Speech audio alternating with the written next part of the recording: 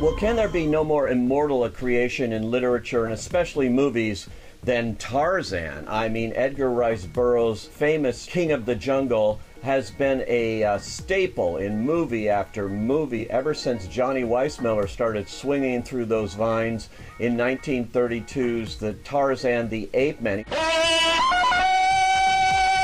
He's still probably the most famous Tarzan of them all, all the way through Bo Derek's attempt to resuscitate this story. Then there was uh, 1984's Greystoke, Lord of the Apes, uh, The Legend of Tarzan, all the way through Disney's animated feature, and that became a Broadway musical. So is there room for yet another Tarzan? Well, I can see why filmmakers, uh, particularly director David Yates, who did the last two Harry Potter movies, uh, was attracted to the idea of reviving Tarzan, especially with the advance in technology with CGI and special effects, making an adventure on this scale even more exciting than ever before. And they have largely succeeded with this version, which stars this time Alexander Skarsgård. He is the perfect choice as Tarzan, by the way.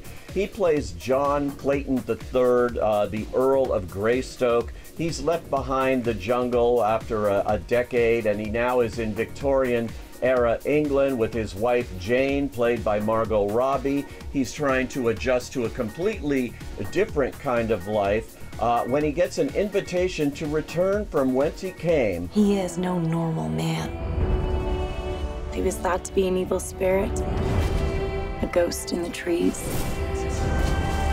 No man ever started with less. The King of Belgium invites him to come to the Congo to see all the wonderful things he's done, but that's really a ruse. This guy is not all good. And his henchman, played by Christoph Waltz, king of the villains in every movie we see lately, is out to uh, do no good. He's trying to lure John back to the jungle, back to this area, so he can deliver him to an old enemy, Mbonga, played by Djimon Hounsou, who's the uh, chief of a major tribe there and has never gotten over what he feels was a wrong to him by Tarzan. Tarzan actually turns down this invite, but he's talked into it by George Washington Williams, played by Samuel L. Jackson. He is a former soldier, now humanitarian, who has his own reasons for wanting to go back, and Tarzan is his ticket back. So how you want to play this thing? Their leader will come down, and we'll fight.